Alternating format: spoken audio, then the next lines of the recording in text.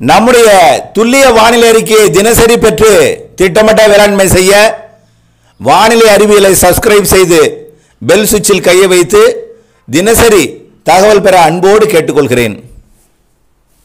வணக்கம் செல்லகுமார் பேசுகிறேன் இது செல்வகுமாரின் இலங்கைக்கான வானிலை ஆய்வறிக்கை இரண்டாயிரத்தி இருபத்தி இரண்டு செப்டம்பர் ஆறு. செவ்வாய்க்கிழமை அதிகாலை நிலவரப்பதிவு இலங்கையை பொறுத்த வரைக்கும் இந்த காற்று சுழற்சி என்பது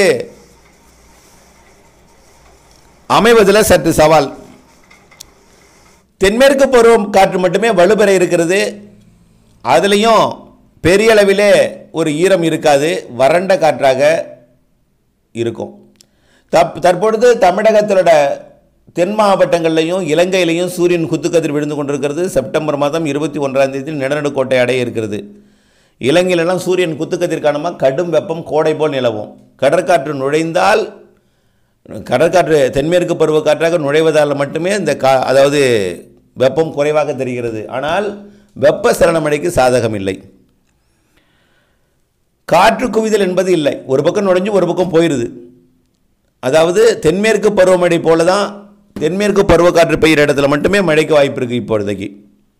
ஆந்திர பகுதியில் காற்றழுத்த தாழ்வு நிலை உருவாவதற்கு சாதக சூழல் ஏற்பட்டு கொண்டிருக்கிற காரணத்தினால தென்மேற்கு திசையிலிருந்து வலுவான காற்று இலங்கையோட சிலோவுக்கு தெற்கே காலிக்கு வடக்கே இடைப்பட்ட பகுதி கோட்டை கண்டி இடைப்பட்ட கோட்டை மற்றும் கொழும்பு இடைப்பட்ட பகுதி வழியாக உள்ளே கண்டி ரத்னபுரா உள்ளிட்ட பகுதி வரைக்கும் சாரல் மழை தென்மேற்கு பருவமழை மட்டும் கிடைக்கும். இதில் வரக்கூடிய நாட்களில் அந்த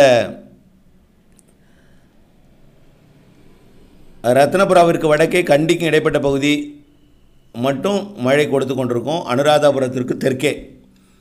புத்தளத்திற்கு தெற்கே மட்டுமே மழை.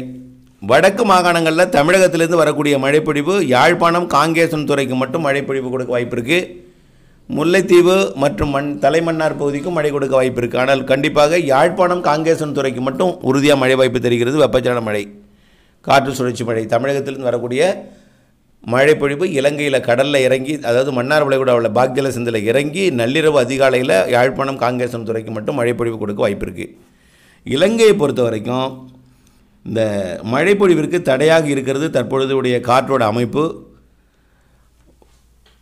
அப்படி இருந்தால் ஒரு சில இடங்களில் மட்டும் கிழக்கு உள் மாகாணங்களில் இருக்கும். நம்ம ஏற்கனவே கொஞ்சம் மழைப்பொழிவு கிடக்கு கிடைப்பதற்கான சாதக சூழல் இருந்தது. ஆனால் இப்பொழுதைக்கு வலுவான காற்றாக மாறிவிட்டது கடுங்காற்றாக மாறிவிட்ட காரணத்தினால காற்றை தடுக்கும் அமைப்பு இல்லை. வெப்பசலன மழைக்கு சாதகம் இல்லை. மழைப்பொழிவுக்கு மட்டுமே அதாவது காற்றுக்கு மட்டுமே சாதகமாக இருக்கிறது. இருந்தாலும் மனதை தொய்வடைய விட வேண்டாம். இருபதாம் தேதிக்கு மேலே அடுத்தடுத்த நிகழ்வுகள் இருக்கிறது. அக்டோபர் மாதம் முதல் நிகழ்வு முதல் இரண்டு வாரத்தில் ரெண்டு நிகழ்வு இருக்கிறது. நல்ல மழைப்பொழிவு இருக்கிறது அக்டோபர் முதல் ரெண்டு வாரத்துலையும் செப்டம்பர் இறுதி வாரத்துலையும். ஆக இப்பொழுதைக்கு தென்மேற்கு பருவமழை பெய்யக்கூடிய இடத்துல மட்டும் பிற பகுதிகளில் காற்றாக இருக்கும். யாழ்ப்பாணம் காங்கேசன்துறையில் மட்டும். முல்லைத்தீவு மற்றும் அதற்கு வடக்கே இருக்கக்கூடிய பகுதி தலைமன்னாருக்கு வடக்கே இருக்கக்கூடிய பகுதிக்கு மழை வாய்ப்பு தெரிகிறது. உறுதியாக யாழ்ப்பாணம் காங்கேசன்துறைக்கு தமிழகத்திலிருந்து வரக்கூடிய இடிமழை அதிகாலை நேரங்களில் நள்ளிரவுக்கு பின் இருக்கும். இதுதான் இப்பொழுதைய வானிலையாக தெரிகிறது. தொடர்ந்து வானிலைகள் இணைந்திருங்கள். மாறுதலிருந்து திட்டமிட்ட மேலாண்மை செய்வோம். நன்றி.